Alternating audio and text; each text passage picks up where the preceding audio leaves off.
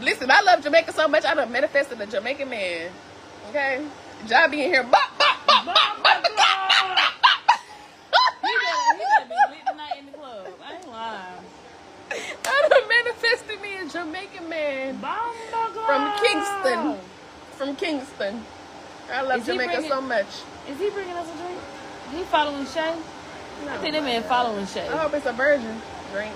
She probably did get you a virgin. You don't need a version, but Oh, shut up. you don't. Hot. But yeah. Definitely get y'all a Jamaican man. Ooh, I'm about to hook you up with a Jamaican. Bop, bop, bop, bop, bop. Oh my god. Somebody slid into my DMs the other day and it was like, um, what's the most toxic thing that I've ever had to deal with in a relationship? And the first thing that came to mind was I was with this woman for some years and I think she had a mental issue.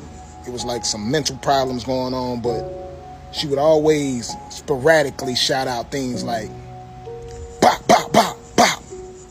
And you know, in the, in the initial part of the relationship, you know, I'd be like, yo, what the fuck is wrong with you? Then it started growing. Like, it could be in the midnight, man. You know what I'm saying? One in the morning, I'm asleep. Pop, pop, pop. And I'm waking up like, yo, what the fuck is going on? This girl just con- was always pop, pop, pop, pop. And as it got intense over the years, she'd be like, bop, bop, bop. I'd be like, bitch, what? I didn't know what was going on. I, I, that's the most toxic thing I could think of is a woman that just kept shouting out pop, pop, pop, pop, pop all night.